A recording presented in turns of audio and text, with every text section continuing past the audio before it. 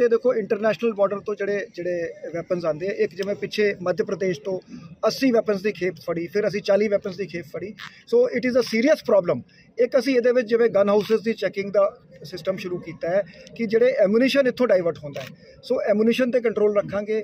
ਜਿਵੇਂ ਸਾਡੇ ਕੋਲ ਇਨਫੋਰਮੇਸ਼ਨ ਆਂਦੀ ਹੈ ਅਸੀਂ ਉੱਥੇ ਰੇਡ ਕਰਕੇ ਦੂਜੀ ਸਟੇਟਾਂ ਦੀ ਪੁਲਿਸ ਨਾਲ ਤਾਲਮੇਲ ਕਰਕੇ ਅਸੀਂ ਅਸਲਾ ਰਿਕਵਰ ਕਰਾਂਗੇ। ਔਰ ਸਰ ਇੱਕ ਪੰਜਾਬ ਦੇ ਵਿੱਚ ਕਈ ਲੋਕ ਜਿਹੜੇ ਕਾਫੀ ਜਿਹੜੇ ਹਥਿਆਰਾਂ ਨਾਲ ਇੱਕ ਵਾਇਲੈਂਸ ਦੇ ਵਿੱਚ ਸੀਗੇ ਹਥਿਆਰ ਜਿਹੜਾ ਸੀ ਲਾਇਸੈਂਸੀ ਨਾਲ ਲੈ ਕੇ ਨਹੀਂ ਚੱਲ ਸਕਦੇ।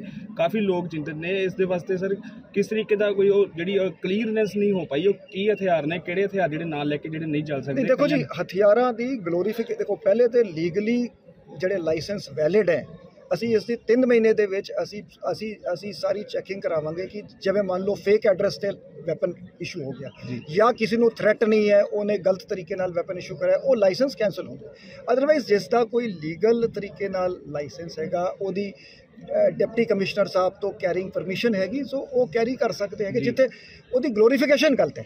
ਸੋ ਜਿਹੜੀ ਬੈਨ ਬੈਨ ਗਲੋਰੀਫਿਕੇਸ਼ਨ ਬੈਨ ਕੀਤਾ ਗਿਆ।